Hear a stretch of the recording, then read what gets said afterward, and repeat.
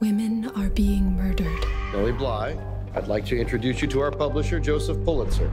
It is a great honor. The World newspaper would like you to infiltrate Blackwell's Island Lunatic Asylum for Women. I will teach myself to be mad. Absolutely everyone must believe I am insane. How will you get me out after I once get in? I do not know. Your very life may be threatened. This is not a place that you want to wait long if you don't need to be here. Nellie Brown, the doctor wants you. I'm Superintendent Dent. How are you today? Blackwells will one day be a utopian example of the most advanced treatment of the insane. Give me that! No reading. We're not allowed to read. No. I'm gonna kill you. I'm gonna kill you. You're in an insane asylum.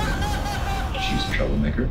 I understand you've been having fevered thinking. I curse all doctors, nurses, and public institutions for their treatment of people that have no advocacy. Delusions such as these can be cured with medication.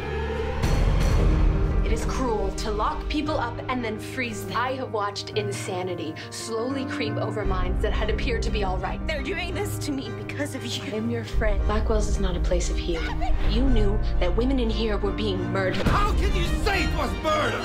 A woman has no voice when a man signs her away as insane. I'm trying to bring these people some relief. By killing them? The job of a reporter is to tell the truth to the people. There are many truths here at Blackwell's. It is, after all, an asylum for the insane. I fear I shall not be able to stand the strain. You must keep your spirits up. If you give up now, the good may arrive and you will not know it.